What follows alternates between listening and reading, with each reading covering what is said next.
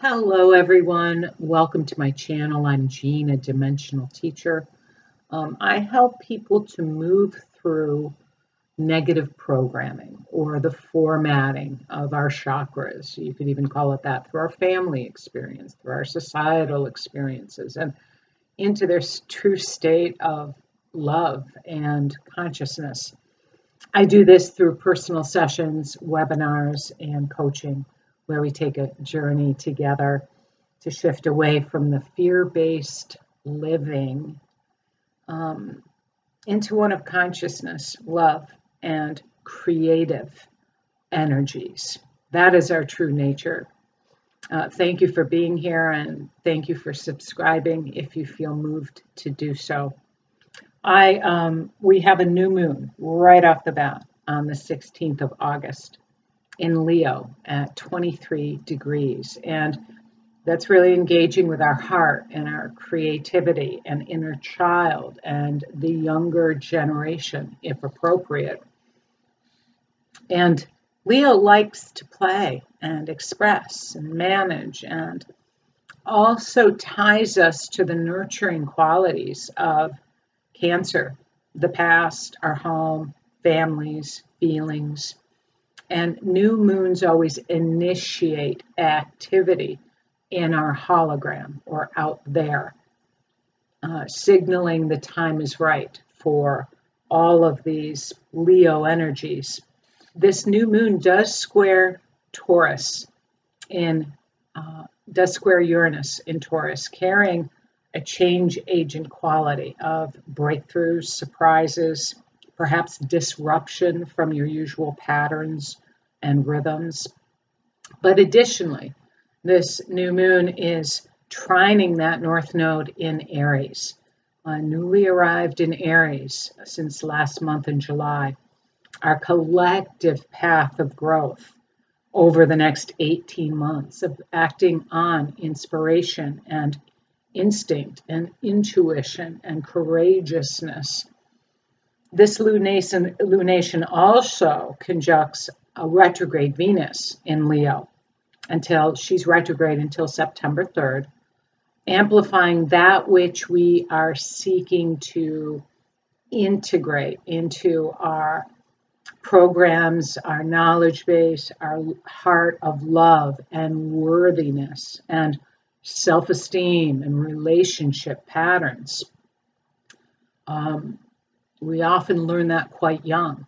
And so, this is an opportunity to shine the light on those pra- patterns, those programs, that formatting. And our instincts are very much in flow now in a grounded and practical manner as Mars in Virgo is trining Uranus in Taurus at this new moon. Now, Mercury in Virgo is already slowing down for his retrograde that will occur on the 23rd at 22 degrees of Virgo. He will station direct on September 15th at 8 degrees of Virgo. So, retrogrades, which now with Mercury retrograde, we're in quite a retrograde cycle of introspection and integration work, the integration being aware of the patterns that have uh, happened over this past year, even going back into past timelines, being aware of that, uh, opening that awareness so it can be integrated, so it can be seen, so it can be made conscious. And then we bring love into that, right? We bring love and healing to those patterns. But Mercury retrograde certainly is the personal planet that tends to disrupt the normal patterns and functioning and rhythms of life, especially when he's stationing. So he's stationing on the 23rd and he's stationing direct on September 15th. And then we go into uh, this Virgo retrograde pattern, which is really amplifying this theme of uh, health and service and practicality, being in our body, being grounded, the sun also ingresses Virgo at this Mercury station on the 23rd. So we're deeply connecting with these Virgonian themes, which keeps our focus on health and service and discernment. And, you know, Virgo's lower expressions are about criticism. And that really lowers the vibration, self criticism, criticism of others. We actually have been taught through thousands of years of uh, patterns and through the frequencies and power on this planet to be highly critical of ourselves. That's been a very conscious and purposeful program that's been running for some time and affecting humans.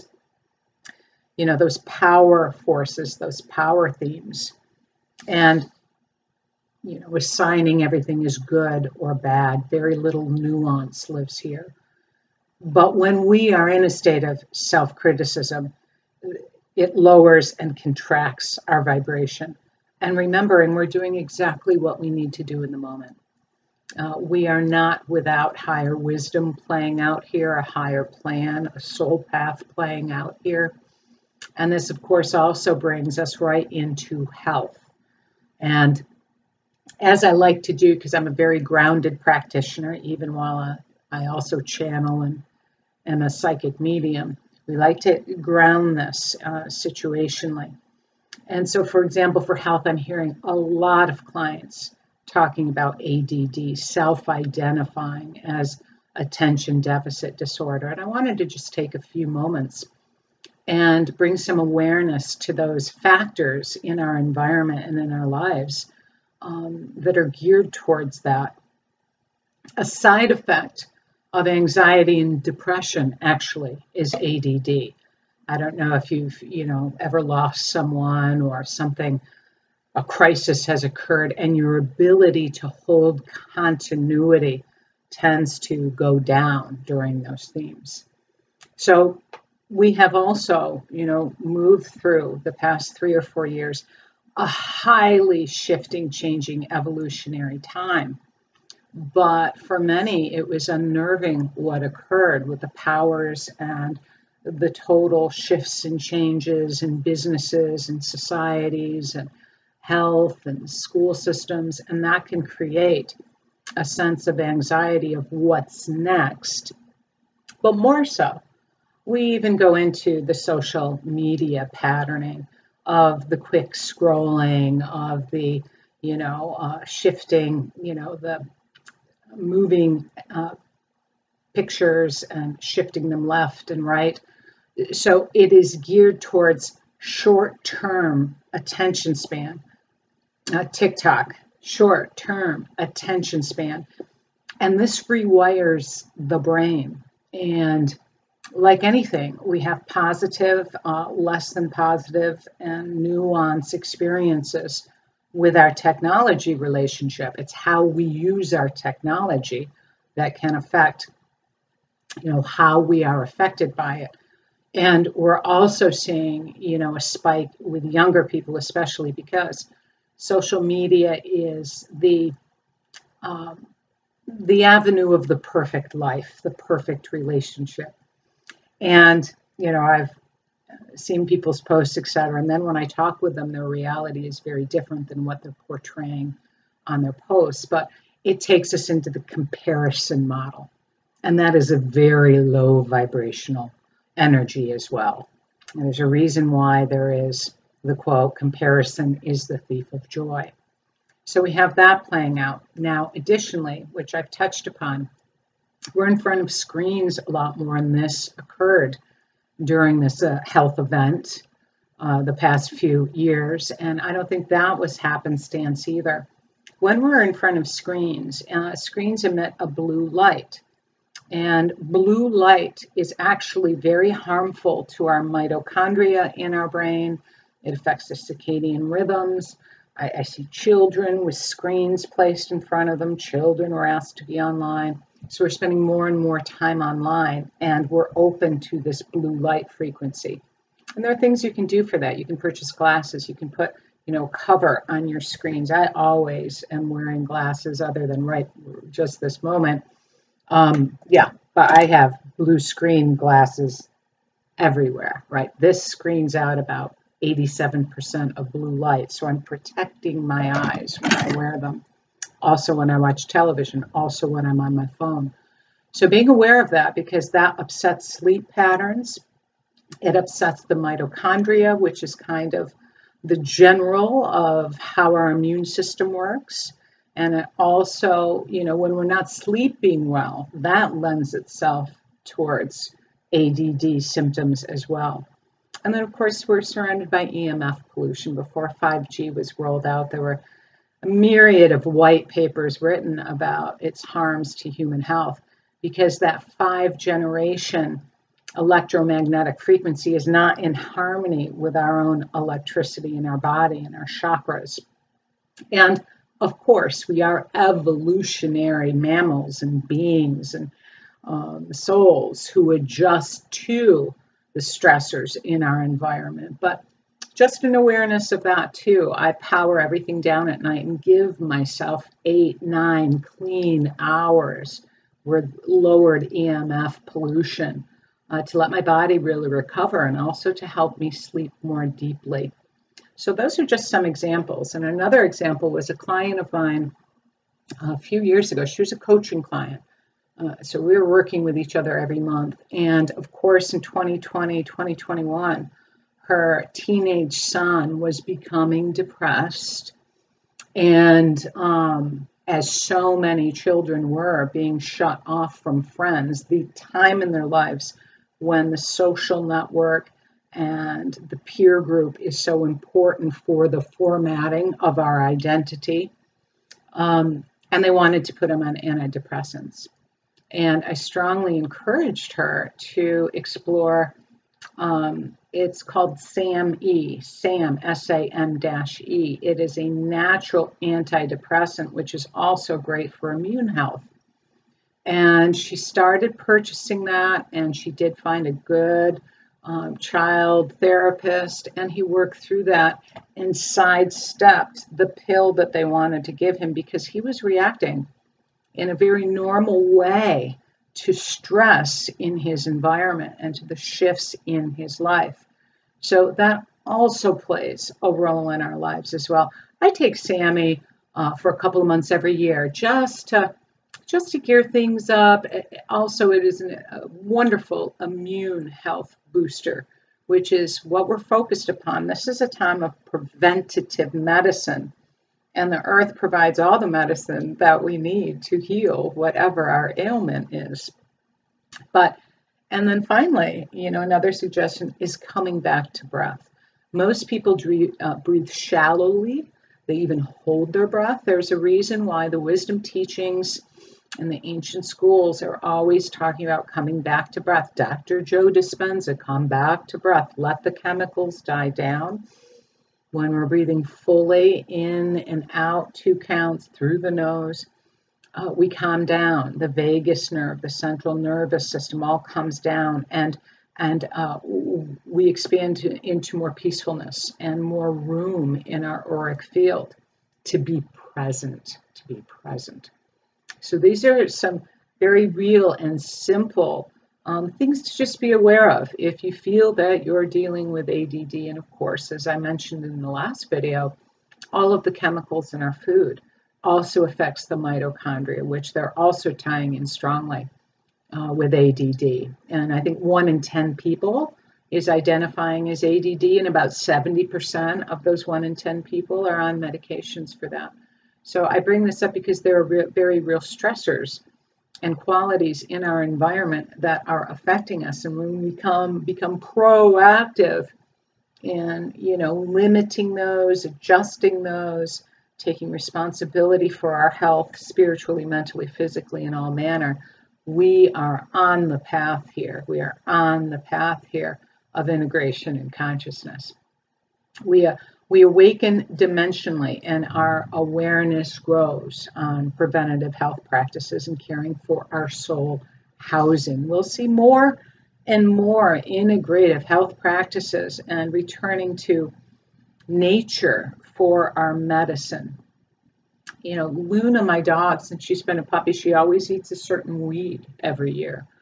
And I trust her to know that there's something in that supposed weed that is providing sustenance and nurturance. And, and we still do that to this day. 10 years later, she seeks out that weed. I pick it for her. she chows it down, she's fine, but there is an inner knowing for her instinctually of what her body needs supplementally. And, you know, the average physician receives probably less than a, a few hours of training on nutrition, but that is changing as more and more integrative resources and practitioners are coming online. And it's, uh, I have a friend, her daughter is a pharmaceutical rep. She's in her 20s and gorgeous. And you'll find that, and she, a six figure salary. So these lovely nubile beings are the ones going into doctor's offices to sell them on the benefits of the next pharmaceutical product. But we want to be impeccable now and be aware of, of that with our mind and our intentions because self judgment is a learned behavior. We are doing what we need to do in any given moment. And as we awaken and we're integrating the carbon based DNA with the crystalline DNA, which is occurring, this fifth dimensional energy, we're becoming much more aware of these patterns within us, and that's extremely healthy. So stay away from the self judgment, okay? Now, on the 27th, Mars transits into uh, Libra until October 12th, and reflecting the nodal transits because Mars reflects, of course, Aries, and he's transiting through the south node placement of Libra, so uh, of relationships. So I imagine we're going to see a strong collective theme of justice and equality themes increasing in focus over the next few weeks. Fairness in relating, Libra, and there's a reason why Libra is called the fist in the velvet glove. Things better be fair or else, right? Uh, but certainly it's drawing our attention and our instincts to all of our relationships. And mind you, Pluto square the nodes is still in orb through about September 3rd. And there's some very interesting themes arriving from that. Another client of mine, she was her Aries house is in her seventh house, interestingly, which is where the North Node is. And she found herself going through some real extreme situations with the Pluto square.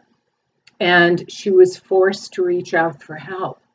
And, um, you know, South Node in Libra can um, in her first house can be I can handle it myself and being self sufficient, which is wonderful, but it can go too far because none of us are an island. We need one another.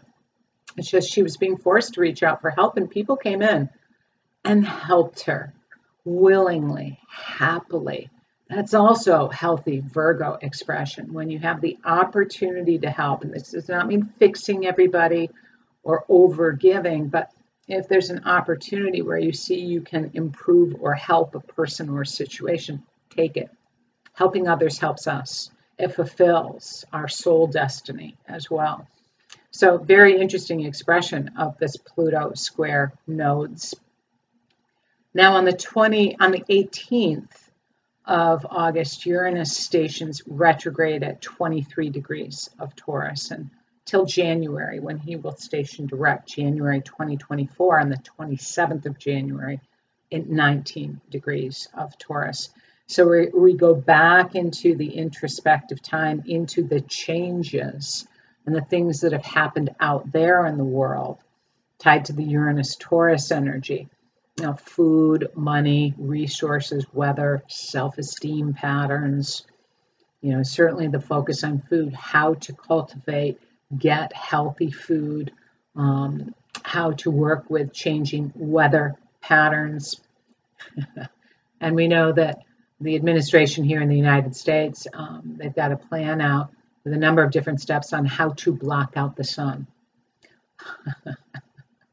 well, we need the sun for a myriad of reasons, but so we're seeing all of the density patterns out there, but that is the propulsion system for our consciousness and our healing and our awakening. We have the blue moon, which means the second full moon in one calendar month on the 30th at 7 degrees of Pisces. And this full moon conjuncts Saturn. So this is going to be bringing some um, fi finalizations, some commitments, maybe some fear, this can be tied to spiritual energy, health, government, authority figures. but fear begets more fear, love begets more love. You are an energy generator. But whatever occurs at this full moon, it can be something finally ending too. But conversely, if you commit to something, it's going to carry a long trajectory, right? Something that can be a long commitment at this full moon. Um, and now and in the future, we are moving and we will be moved beyond all of these fears and desperation as we connect with our galactic families in history. That's part of this Pluto Aquarius is we're awakening to the understanding that we are aliens, that our DNA strands are tied to different lives and experiences on different planets. However fearful they're going to present this, of course, the governments are always going to present anything as a fearful thing that they must protect us against so that we will all unite behind them and look to them for the answers. Because, you know, disclosure is happening, it's been happening. Disclosure happens every time someone is channeling and connecting with these different galactic beings that are often tied to their own history. If we saw an alien landing on the White House, that would be very concerning because that would mean a match in consciousness. And given the consciousness of our government and our systems, that would not be a good thing. Um, we are tied to these uh, beings and these dimensions, and that's tied to our own levels of consciousness and awakening. When I'm teaching channeling and psychic development with clients, they will only take you as far as your level of development. And, and um, which makes sense and it's all good. There's no judgment. It's like here you are. So here's this energy coming in that can work with you at this level. Now you may change and evolve and then you may have another energy coming in who operates from a completely different database of knowledge and information but we don't want to see aliens on the lawn of the White House, et cetera, because that would speak to a consciousness match and that would not be good. But they're certainly going to propagate this through the media, and that's the media's job is to deliver the fear programming. Um, be afraid, be very afraid. Because who profits when we're healthy? No one, not in these systems. So, so disclosure is happening individually, collectively. If you're waiting for a government agency to tell you what's what, be very careful of the message attached to that, right? So uh, we're getting more and more connected with our galactic families and our history, and we will integrate the mental, the emotional, the energy bodies, and will be understood that these separate parts are an illusion and that our true state of being is a unified consciousness as we continue to work with our own integration, even in the midst of fear and confusion and pain. Pain actually is often a sign of transformation, psychological pain, emotional pain, and can be a powerful catalyst for uh, personal growth. Some of the most gifted naturopaths I know, for example, have healed themselves from debilitating illnesses. They've had illness after illness after illness. And it evolved their consciousness and their service and their talent, and actually was part of their purpose and why they came here on this planet at this time. But they they developed and understood the experiential nature of these things. And the human experience of separation is but one part of who you are and by embracing all aspects, we individually and collectively move to an enlightened state of consciousness. This includes diversity and people's ability and right to see things differently, to live differently, to choose differently. Uh, much love, everyone. It was great speaking with you. Take care.